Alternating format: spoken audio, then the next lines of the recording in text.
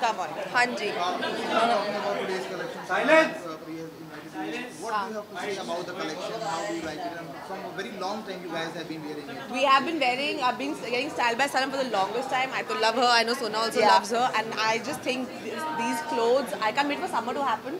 So we can wear the entire collection to be honest. Too hot to handle as they say. Sonakshi, what you would like to say? Yes, and it's very summery and very bright and very light, and that's the that's the best part. That it actually is too hot to dress up hectically. So uh, these are very chill, cool, and really nice outfits. dresses to you.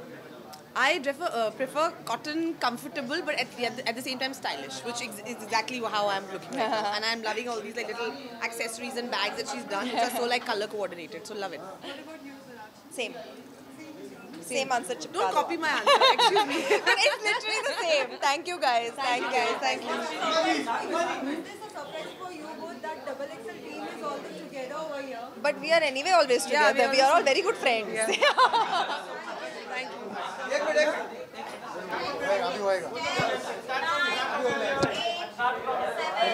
you.